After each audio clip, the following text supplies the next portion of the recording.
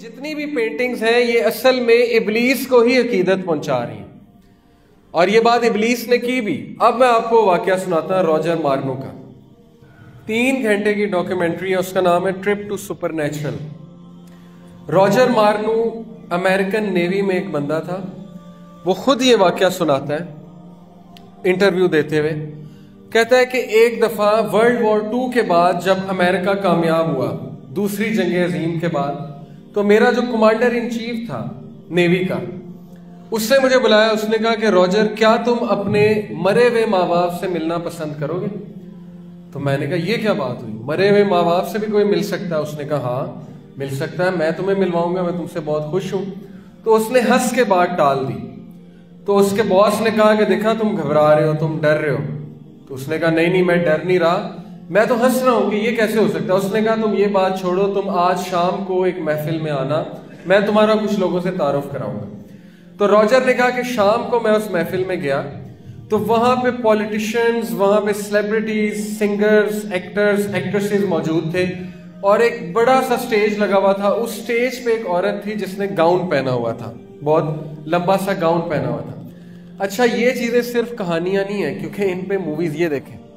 ये एक मूवी का सीन इन पे मूवीज़ बनाई है हॉलीवुड ने.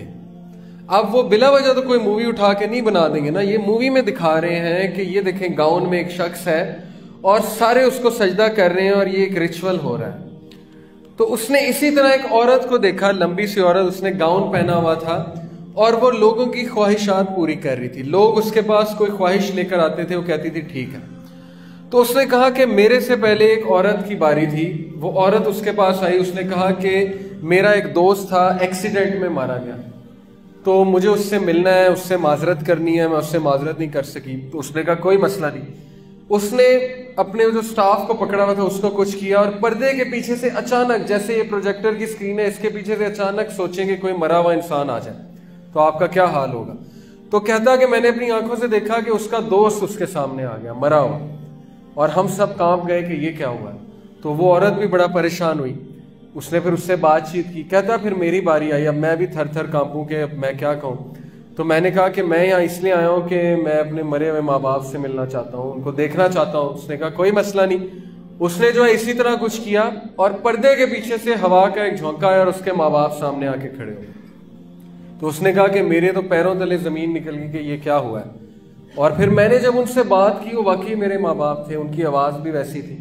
तो मैं तो इतना खुश हुआ, उसकी आँखों से आँसू जारी हो गए।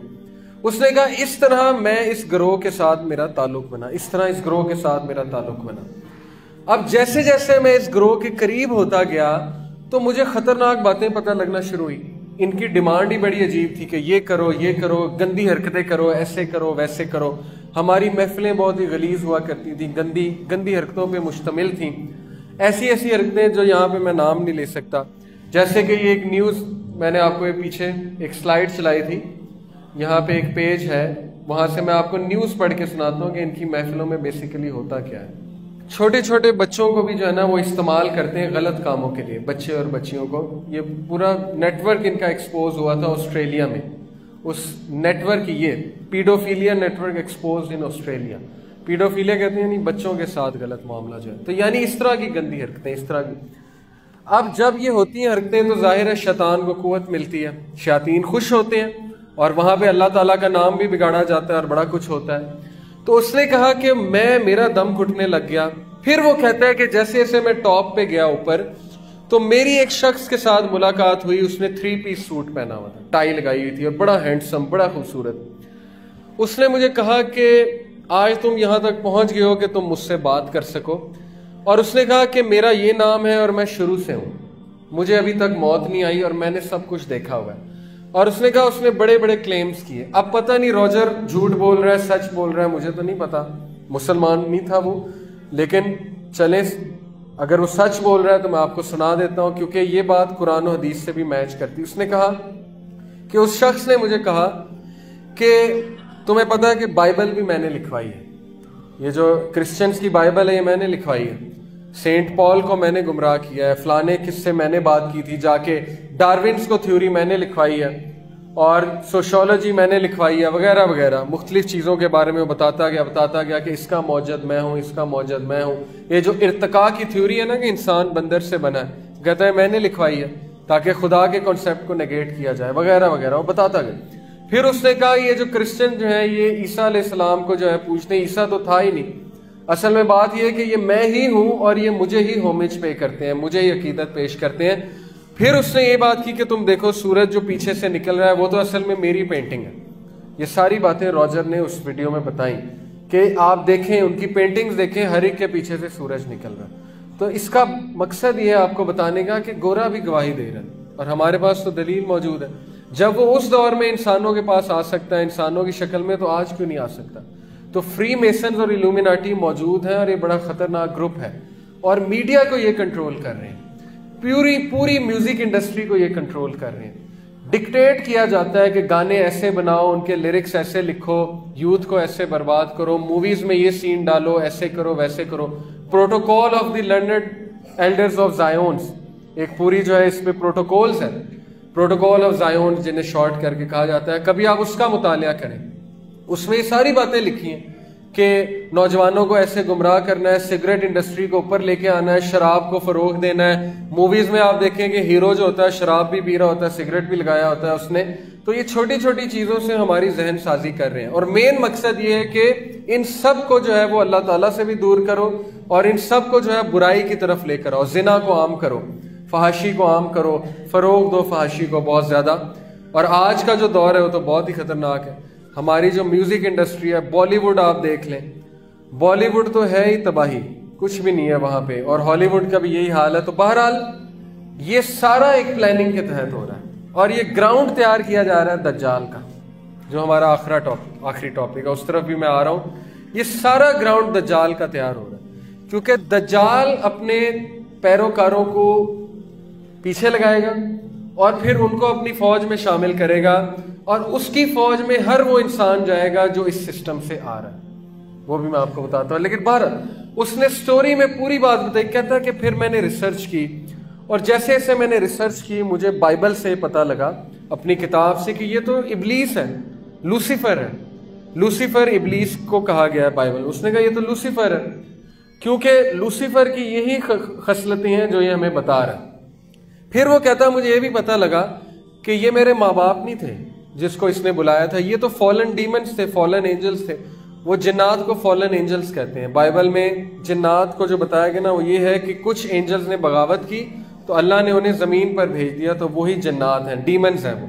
लेकिन हमें पता है वो जन्नात, उसने कहा, ये तो फॉलन डीमंस हैं फॉलन एंजल्स हैं तो ये मेरे माँ बाप तो थे ही नहीं। यानी उसने सारे के सारे पोल खोल दिए उस डॉक्यूमेंट्री में, तीन घंटे की डॉक्यूमेंट्री उसके बाद उसकी मौत वाकई हो जाती है, उसको हार्ट अटैक हो जाता है, जिस तरह माइकल जैक्सन को हो गया था।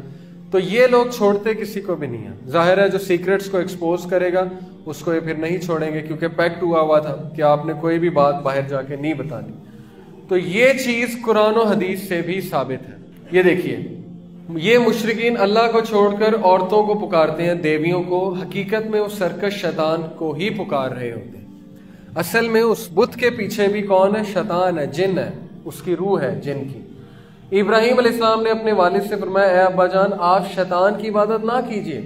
बेशक शैतान रहमा उन्होंने क्यों कहा शैतान की इबादत ना कीजिए? क्योंकि उन्हें पता था इसके पीछे शैतान ही है बुत तो नहीं है ना?